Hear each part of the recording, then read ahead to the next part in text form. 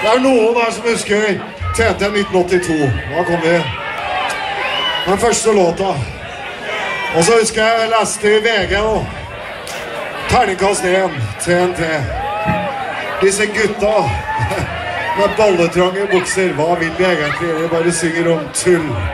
Og det gjør vi jo egentlig. Her er Halle Levisen. Gasser på. Kom igjen!